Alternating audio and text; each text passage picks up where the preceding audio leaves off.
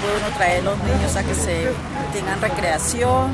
Yo tengo una niña en condición de discapacidad a la cual he podido traerla, porque ya tiene el pasadizo para ellos también. Es un proyecto dedicado al pueblo, que es lo que debería hacerse.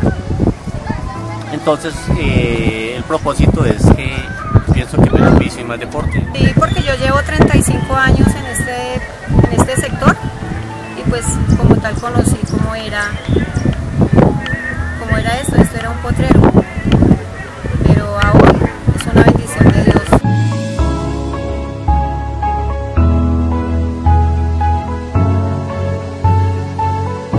están haciendo algo bueno, pues por lo menos el alcalde que fue quien nos entregó esto, el doctor Peñalosa fue quien nos entregó eso, pues hasta ahora ha estado muy bien porque esto era terrible. Aquí solamente venían a fumar y ahorita pues está muy bien, gracias a Dios. Pues uno puede venir acá a jugar lo que sea, hacer ejercicio, venir a lo que quiera hacer. Eh, acá en este parque podemos desarrollar más que todo nuestra habilidad deportiva.